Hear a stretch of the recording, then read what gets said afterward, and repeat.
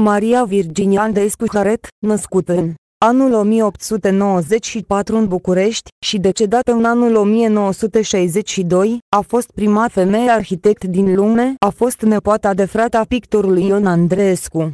Maria Virginia Andreescu a rămas orfană de mamă la 9 ani și s-a ocupat de cei trei frați și de gospodărie.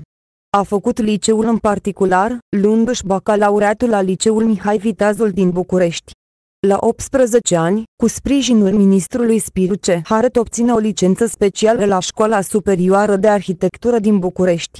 În paralel a studiat artele frumoase și a realizat un număr mare de acoarele care, astăzi, fac parte din colecția de stampe a Bibliotecii Academiei Române.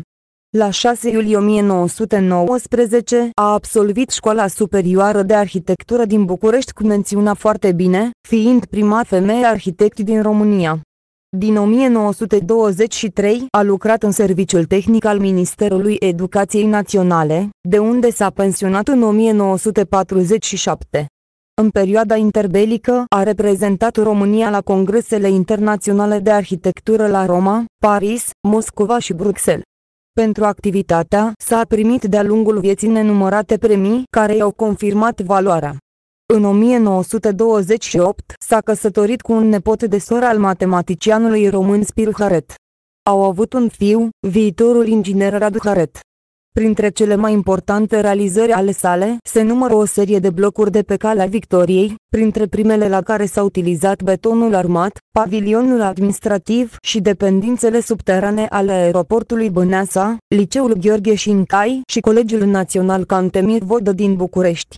O regăsim în cadrul unor concursuri de artă grafică cu lucrări premiate precum Locul 1, de Făgăraș, lucrare neexecutată locul al doilea, o aripă nouă la Ministerul Domeniilor din București, lucrare neexecutată locul al doilea, internat pentru școala de meserii din satul Năsămud, lucrare neexecutată.